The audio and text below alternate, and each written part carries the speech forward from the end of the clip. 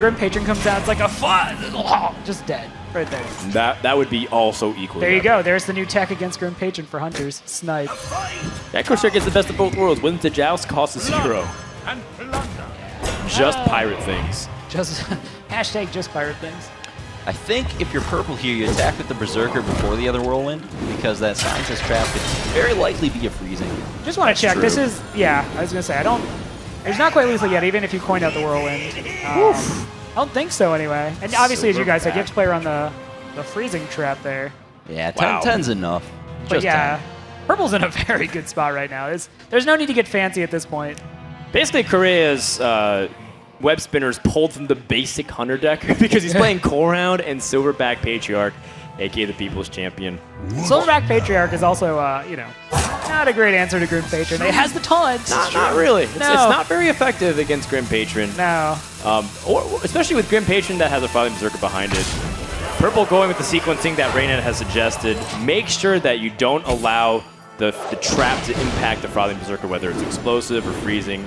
Uh, otherwise, you'd miss that damage. Sure, you li you missed six damage if it was Snake Trap, but I think you don't want to take that risk.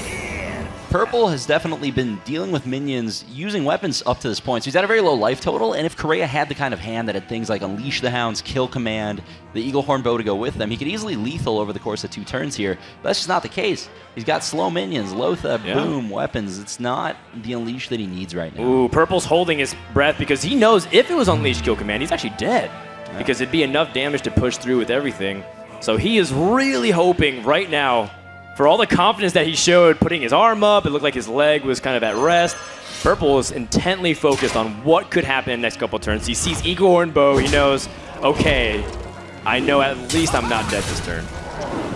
Yeah, and I don't think based on what's purple, what is in purple's hand right now, purple can kill him, especially with the trap down. Yeah, uh, but- but here is the big moment. Armorsmith with Whirlwind effects allows Purple to gain some big armor this turn. So he's just gonna check this trap, see what it is. He's going And there's back a to freezing trap. So he's one off. He might slam his own minion here after playing an Armorsmith to look for that lethal. Or he's thinking about it. Yeah, he's thinking about what you said. He has that slam. So by attacking first, he actually just eliminated uh, War Song Inner command. Rage and War Song as well. Oh no, you can still uh, you still get War Song, right? can if still he, get yeah, War if he yeah. slams into uh, the whirlwind. If he slams before the Armorsmith. Right, but now it's like, you know, do I play defensively? Do I play aggressively? Seven mana, what can my opponent do for maximum? It'd be Unleash and Kill Command, but if he had that, he would have already used it previous turn. I'm going to put my opponent at one.